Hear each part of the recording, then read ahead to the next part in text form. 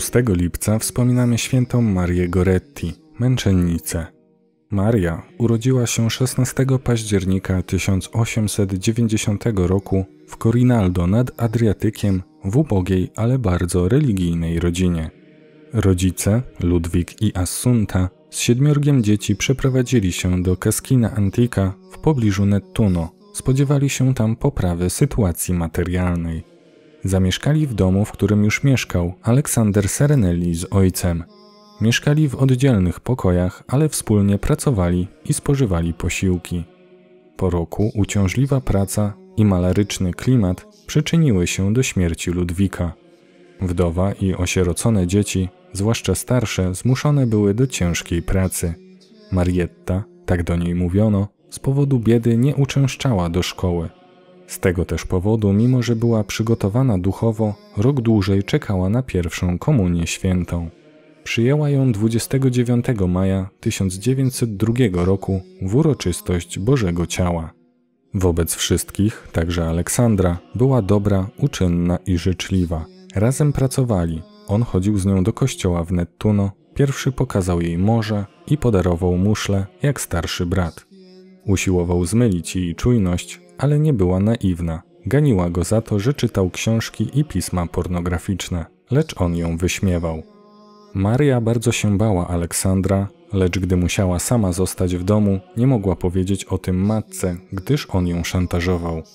Jej obawy nie były bezpodstawne. 5 lipca 1902 roku jej matka ze starszymi synami pracowała na podwórzu przy młóceniu bobu. Ojciec Aleksandra drzemał zamroczony alkoholem. Maria w domu pilnowała Teresy, swojej młodszej siostry, a Aleksander usiłował dokonać na niej gwałtu. Ponieważ stanowczo się sprzeciwiła, zadał jej 14 ciosów nożem.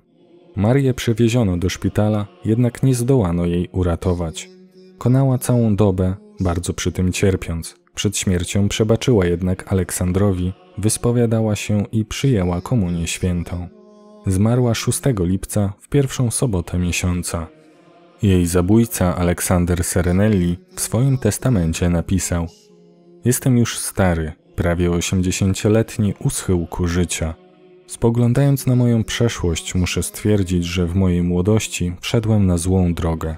Miałem obok siebie osoby wierzące, żyjące zgodnie z wiarą, ale nie doceniałem ich rad ani przykładu.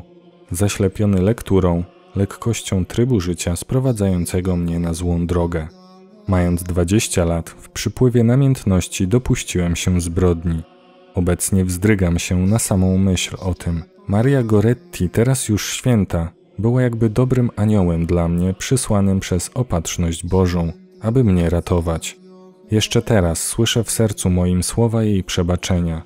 Modliła się za mnie, orędowała za swoim zabójcą. Skazano mnie na 30 lat więzienia. Gdybym nie był tak młody, skazano by mnie na dożywocie.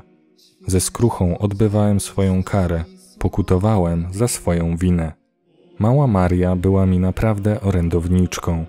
Za jej pomocą dobrze przeżyłem 26 lat więzienia, a gdy mnie zwolniono, starałem się żyć porządnie, wdzięczny, że społeczeństwo znów przyjęło mnie do swego grona.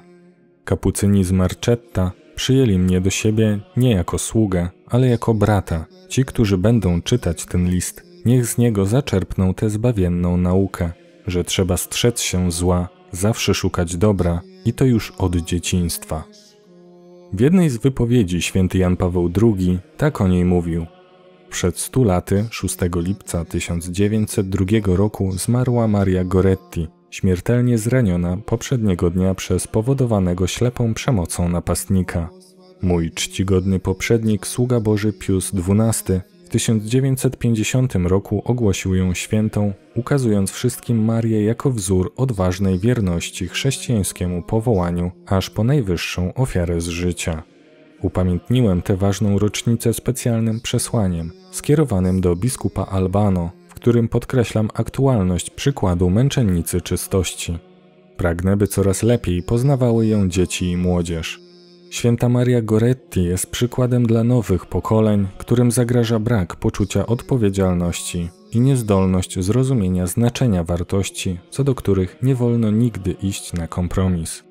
Uboga, niewykształcona, niespełna dwunastoletnia Maria miała silną i dojrzałą osobowość, ukształtowaną przez wychowanie religijne, które otrzymała w rodzinie.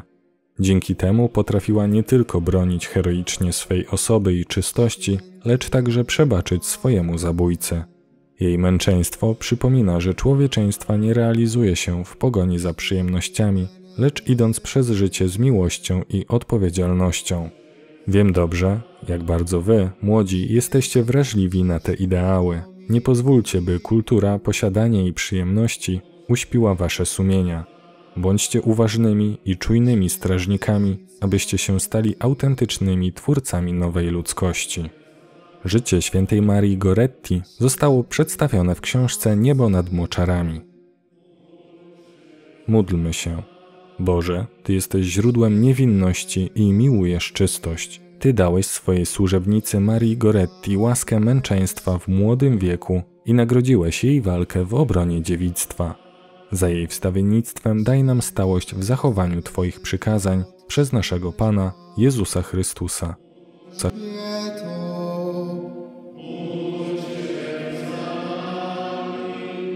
Wszyscy święci, święte Boże.